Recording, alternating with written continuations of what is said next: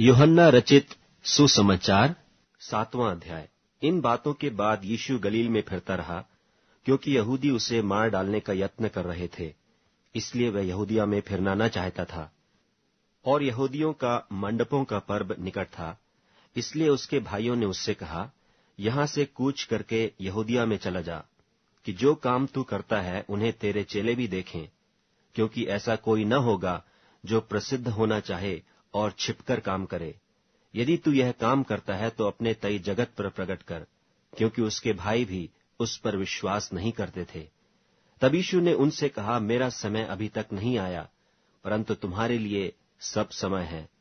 जगत तुमसे बैर नहीं कर सकता, परंतु वह मुझसे बैर करता है, क्योंकि मैं उसके विरोध में यह गवाही देता हूँ कि उसके काम बुरे हैं। तुम पर्व में जाओ, मैं अभी इस पर्व में नहीं जाता। क्योंकि अभी तक मेरा समय पूरा नहीं हुआ। वह उनसे ये बातें कहकर गलील ही में रह गया। परंतु जब उसके भाई पर्व में चले गए तो वह आप ही प्रगट में नहीं, परंतु मानो गुप्त होकर गया। सो यहूदी पर्व में उसे यह कहकर ढूँढने लगे कि वह कहाँ है, और लोगों में उसके विषय में चुपके चुपके बहुत सी बातें हुई। कितने कहते थे, वह भला मनुष्य है, और कितने कहते थे, नहीं, वह लोगों को भरमाता है। तो भी यहूदियों के भय के मारे कोई व्यक्ति उसके विषय में खुलकर नहीं बोलता था।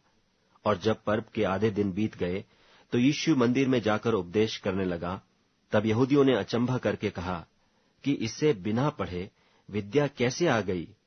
यीशु ने उन्हें उत्तर दिया कि मेरा उपदेश मेरा नहीं, परंतु मेरे भेजने वाले का है। यदि कोई उसकी इच्छा पर चलना चाहे तो वह इस उपदेश के विषय में जान जाएगा कि वह परमेश्वर की ओर से है या मैं अपनी ओर से कहता हूँ। जो अपनी ओर से कुछ कहता है, वह अपनी ही बड़ाई चाहता है, परंतु जो अपने भेजने वाले की बड़ाई चाहता है, वही सच्चा है और उसमें अधर्म नहीं। क्या मूसा ने तुम्हें व्यवस्था नहीं दी? तो भी तुम में से कोई व्यवस्था पर नहीं चलता। तुम क्यों मुझे मार डालना चाहते हो? लोगों ने उत्तर दिया कि तुझ में दुष्टात्मा है। कौन तुझे मार डालना चाहता है? यीशु ने उनको उत्तर दिया कि मैंने एक काम किया और तुम सब अचंभा करते हो। इसी कारण मूसा ने तुम्हें खतने की आज्ञा दी है। यह नहीं कि वह मूसा की ओर से है, परंतु बाप दादों से चली आई है। और तुम शब्द के दिन को मनुष्य का खतना करते हो।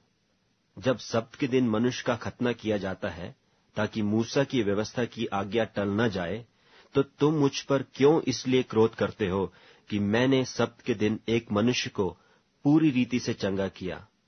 मुँह देखकर न्याय न चुकाओ। तब कितने यरुशलेमी कहने लगे, क्या यह वही नहीं जिसके मार डालने का प्रयत्न किया जा रहा है?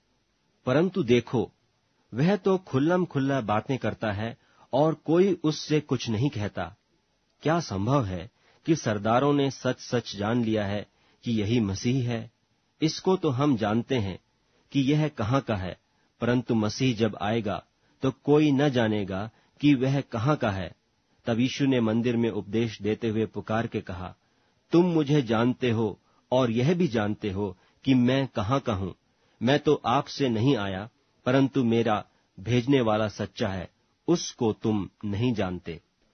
मैं उसे जानता हूँ, क्योंकि मैं उसकी ओर से हूँ और उसी ने मुझे भेजा है।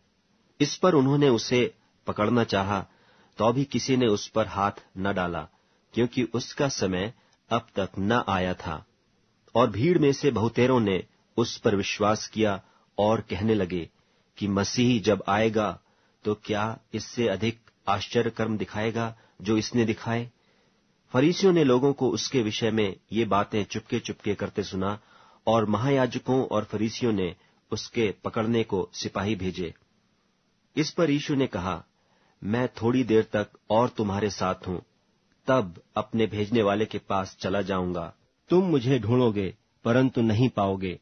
और जहाँ मैं हूँ, वहाँ तुम नहीं आ सकते। यहूदियों ने आपस में कहा, यह कहाँ जाएगा कि हम इसे न पाएँगे? क्या वह उनके पास जाएगा, जो यूनानियों में तितर बितर होकर रहते हैं और यूनानियों को भी उपदेश देगा?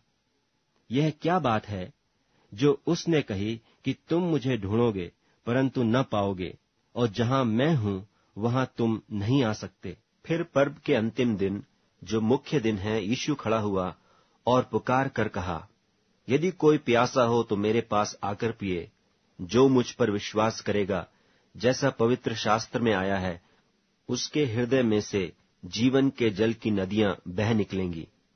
उसने यह वचन उस आत्मा के विषय में कहा जिसे उस पर विश्वास करने वाले पाने पर थे, क्योंकि आत्मा अब तक न उतरा था, क्योंकि यीशु अब तक अपनी महिमा को न पहुँचा था। तब भीड़ में से किसी किसी ने ये बातें सुनकर कहा, सचमुच यही वह भविष्य लगता है। औरों ने कहा, यह मसीह है। परंतु किसी ने कहा, क्यों? क्या मसीह गलील से आएगा? क्या पवित्र शास्त्र में यह नहीं आया कि मसीह दाऊद के वंश से और बैतलहम गाँव से आएगा, जहाँ दाऊद रहता था, सो उसके कारण लोगों में फूट पड़ी। उनमें से कितने उसे पकड़ना चाहते थे, परंतु किसी ने उस पर हाथ न डाला। तब सिपाही महायाजकों और फरीसियों के पास आए और उन्होंने उनसे कहा, तुम उसे क्यों नहीं लाए? सिपाहियों ने उत्तर दिया कि किसी मनुष्य ने कभी ऐसी बातें न की। फरीसियों ने उनको उत्तर दिया, क्या तुम भी भरमाए गए हो? क्या सरदारों या फरीसियों में से किसी ने भी उस पर विश्वास किया है? परंतु ये लोग जो व्यवस्था नहीं जानते, श्रापित हैं। निकोदेमुस ने जो पहले उसके पास आया था और उनमें से एक था, उनसे कहा, क्या हमारी व्यवस्था किसी व्यक्ति को जब तक पहले उसकी सुनकर जान न ले कि वह क्या करता है, दोषी ठहराती है? उन्होंने उससे उत्तर दिया, क्या तू भी गलील का है? ढूंढ और देख कि गलील से कोई भविष्य प्रकट नहीं होने का, तब सब कोई अपने अपने घर को गए।